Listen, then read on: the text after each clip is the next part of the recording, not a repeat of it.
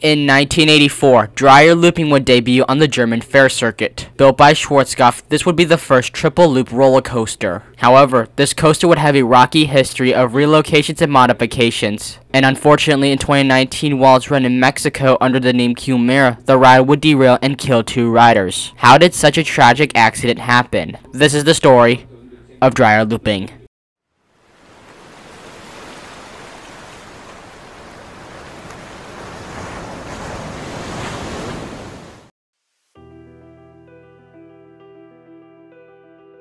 The history of this troubled coaster began in the 80s with master designer Anton Schwarzkopf. Schwarzkopf, along with his partner Werner Stengel, built some of the most popular coasters at the time. Rides like Shockwave and Mindbender at Six Flags parks helped Schwarzkopf gain notoriety, but their biggest market came with traveling coasters. These attractions were sold to German showmen who regularly transport them between fairs. Since they were designed to be portable, they could easily be taken apart, relocated, and reassembled. Now Schwarzkopf has been building traveling coasters since the 50s between their Wildcat and Jetstar designs. But in the 80s, Schwarzkopf would design some of their biggest and best traveling coasters in the world. Some of their most well-known work was Alpina Bahn, Colossus the Fire Dragon, and later, Olympia Looping. But while Schwarzkopf was a great designer, he admittedly lacked business skills. His company would file for bankruptcy several times, and by the end of the 80s, Schwarzkopf would would shut down his manufacturing plant, but Schwarzkopf would continue to design rides in collaborations with other companies, such as Lisebergbanan with Zierer and the previously mentioned Olympia Looping with BHS. But right before Schwarzkopf went under, they would create Dreier Looping. Dreier Looping is the first coaster to feature three vertical loops. The ride was sold to German showman Rudolf Barth. Dreier Looping would debut on the German Fair Circuit in 1984. The ride experience would be as followed. Passengers would board the 28-rider Schwarzkopf trains with those dinky minimal lap bars. The ride begins with a curved 111 foot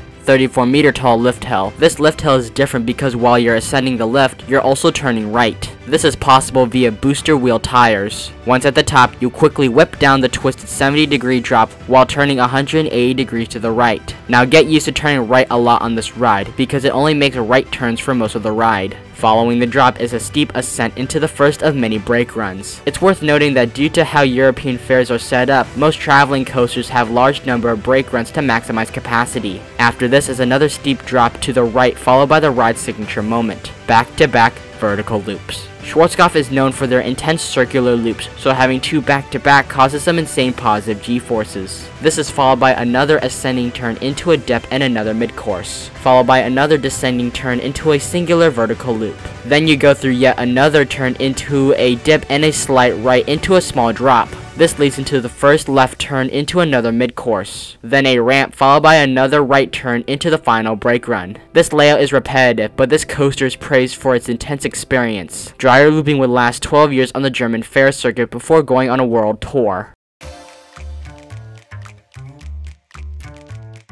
After its run on the German fair circuit, this coaster would be sold to Sunway Lagoon in Malaysia. Renamed Triple Loop, this coaster would only operate from 1997 to 1999 before being relocated again, this time to Flamingo Land in the UK. Opened in 2000 under the name Magnum Force, this coaster would undergo a series of modifications. This includes a new paint scheme and modified restraints. That would be a sort of collar belt similar to the Premier Ride's comfort collars. Now because of how the G-forces on Schwarzkopfs are designed, the lap bars are in use due to the forces naturally keeping riders in their seats. This was done for either liability purposes or for extra protection. After being listed for two years, Flamingo Land removed Magnum Force in 2005. It's worth mentioning that Flamingo Land also had a rare Schwarzkopf shuttle loop that they also sold in 2005. So maybe Flamingo Land couldn't keep up with the maintenance and looked to make a quick buck. The triple looper would soon find itself in a rusty position down in Mexico. In 2007, Magnum Force would find itself in Mexico City at La Feria Chapultepec Magico. Now it's at this park when the coaster would change for the worse. For one, this coaster had an identity crisis, being called Montaña Infinitum, Montana Triple Loop, and finally settling on Quimera. That part is fine. The bigger problem is the lack of maintenance that La Feria did on Quimera. Side note, before I wrote this video, I was going to do a video on Cobra Tivoli Friheden due to how much they screwed up that ride. But I figured I'd address it here, so here we go. The reason why Quimera's maintenance was so poor was because La Feria was trying to save as much money as possible and performing the bare minimum. If you ever done a DIY project or any repair project, you know it's never a good idea to cut corners to save a few bucks. Peace. Now this goes for anyone watching this, do not ever cheap out on anything like Mr. Krabs. It's never a good idea to do the bare minimum to save a few dollars. This is because having too low of a budget leads to a terrible product. This goes in two ways. For the consumer, if it's made poorly, it leads to terrible guest satisfaction and never wanting to use it again. For the business, it leads to lower sales and the product not working properly. The bigger issue has to do with safety. If it's made really cheap, it can risk the safety of everyone involved. Now what does that have to do with Quimera? During the ride's final years in Mexico, La Feria was neglecting the necessary repairs. This led to broken parts on Quimera that La Feria never bothered to replace. The two most significant were the brakes and the wheel bogie. Remember how I said the ride had a ton of block zones? Schwarzkopf designed it to slow down the ride and reduce the forces. At La Feria, the brakes were not working, leading to Quimera to speed through the layout. But the issue with that is that due to the ride running faster than designed, it causes the ride to literally run itself into the ground. This leads into the other issue of the wheels. Due to the crazy speed and g-forces, the wheels on Quimera were experiencing too much stress and needed to be replaced. However, La Feria's negligence would result in what would take place on September 28, 2019.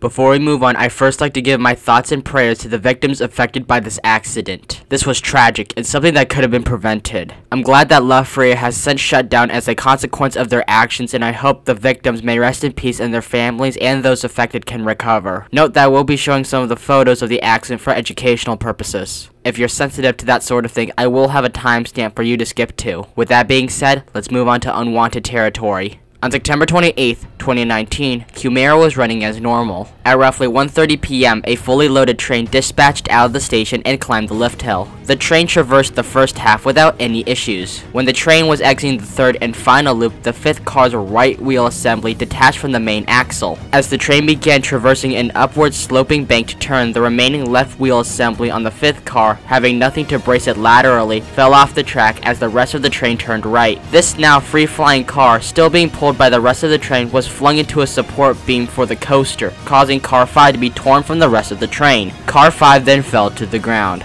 Note that the lap bars never unlocked during the ride. However, due to the erratic forces exerted on the riders during the derailment, some or all of the riders were flung from the car. Two of the riders in car 5 were unfortunately killed. Two luckily survived. The rest of the train valleyed in the next low to the ground turn due to the loss of speed caused by car 5's violent derailment. Riders in this part of the train were left with minor injuries, though it was nearly even worse as post-accident photos showed that Cars 4's left wheel assembly was severely damaged by Car 5's derailment. There is video captured here, but for obvious reasons, I'm not going to show it. I will, however, have a link in the description if you are interested. An investigation was launched immediately after to find out how such a tragic event could happen. This was led by both the International Association of Amusement Parks and Attractions and National Associations of Amusement Ride Safety officials in assistance with Mexican officials. Their findings would be released on October 14, 2019. Here's what they found. They determined that Quimera has been operating outside of conditions set by its manual. The trains used on Quimera was some sort of Franken train of all the good parts as the coaster lost its capacity throughout the years. Many of the wheel assemblies, including the one that failed, were not branded and had no serial. This means that they were not made by Schwarzkopf. Keep in mind that it's not illegal in Mexico like it is in the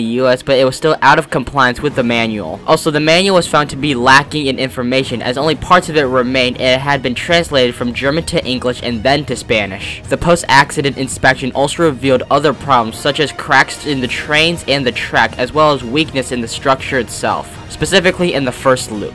Just look at this video, look how much it sways. But the main cause, the detachment of Car 5's wheel assembly, was due to the bolts not being assembled properly. A wheel assembly is a set of wheels that in conjunction with another wheel assembly on the other side of the car hold the trains to the track. Schwarzkopf intended it to be attached to the main axle by three bolts with varying sizes. La either placed them incorrectly or used the wrong bolts. This, combined with the extreme vibrations endured by the wheel assemblies due to the ride running faster than designed, caused this accident. All of this evidence to show the poor maintenance that La Feria did to cut corners and save some money. Look, I get it, Schwarzkopf went out of business, and it's hard to find parts, but that doesn't mean you have to go for the cheapest materials possible. Like, bro, that's not how it works. After the conclusion of this investigation, Feria Chapultepec Magico's operators were charged with homicide. Because of this, La Feria has since shut down for good, and other Mexican amusement parks like Six Flags Mexico have seen a 30% decrease. Now it's at this point where I must give a PSA or else I get slapped in the face with clickbait bullshit. If anyone watching this is afraid of roller coasters because of accidents like this, I encourage you not to. I make videos like these to clear up misinformation spread online about the few accidents that have happened, not to spread fear. Roller coasters is some of the safest things you can do. Most amusement parks aim to be as safe as possible for your enjoyment. The chance of death on a roller coaster is 1 in 750 million. To put that into perspective, you're more likely to win the lottery jackpot, get struck by lightning 12 times, win an Olympic gold medal, and date a hot superstar before dying dying on a roller coaster. Accidents like this deserve to be remembered and thought about so that we as a society can help prevent future accidents like this from happening in the future. As for the state of Quimera, the coaster would surprisingly find a new home.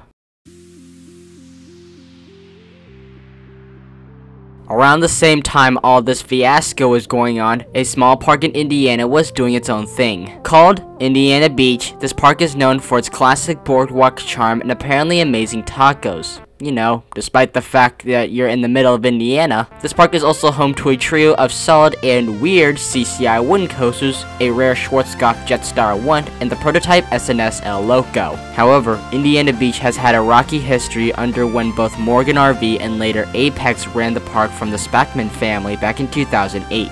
Then in February 2020, Apex Parks announced the closing of Indiana Beach. The reason for the closure was due to Apex Park's financial issues and soon filed for Chapter 11 bankruptcy soon after. This was a real gut punch for both the locals and enthusiasts who enjoyed the place. This park has been around since 1926 and to think we could have lost all that history was heartbreaking. And to think all this happened less than a month before the COVID-19 shutdown. Yeah, that was a real kick in the nuts. But there was a light at the end of the tunnel. See, in April 2020, a businessman from Chicago named Gene Staples would buy Indiana Beach. Staples bought because he wanted many people to experience the park like he and his kids did back in the day. With a bit of TLC, Indiana Beach would reopen on June 14th, 2020. The park would host its grand opening to universal acclaim. Many guests who've gone since Staples' ownership claim the park is now better than it's ever been. With the park now cleaned up, Staples went ahead and bought some used rides. In January 2021, Indiana Beach announced an addition of a used pull-up ride. The more notable attraction was that they would be adding a Schwarzkopf triple loop roller coaster. What this implied was that they were saving Quimera. This was really great for enthusiasts because Quimera was a really good ride. Plus, Indiana Beach has far better maintenance than La Feria ever did. Now, due to the severe amount of damage it went through in Mexico, Indiana Beach had to perform a large refurbishment. So much so that as of the writing of this video, the coaster actually hasn't even opened yet, or even started testing. This shows the large dedication Indiana Beach has to opening this ride as safe as possible. In the time frame between when Quimera was announced to today, Indiana Beach bought two abandoned parks, a used Schwarzkopf shuttle loop from the same park, believe it or not, and even opened a Zyklon as a filler coaster. One new change to Quimera, now named All-American Triple Loop, was that it received new trains and spare parts from the now defunct Mindbender from Canada. This means that All-American Triple Loop should last years longer. After all this, at least we know that once All-American Triple Loop reopens, it will at least be very safe. If there's one thing to learn is that safety is the number one priority among everyone. You shouldn't be cheaping out on something if it means risking those around it. And hopefully another accident like this won't ever happen again. Thank you all so much for watching this video. This video is part of my series What Caused the Accident where we dive into how roller coaster and amusement park accidents actually occur. Please give me a like and consider subscribing as that motivates me to make more awesome content in the future. For this series we aim to clear up misinformation and show how safe roller coasters are. This is the Coaster Flood, riding out.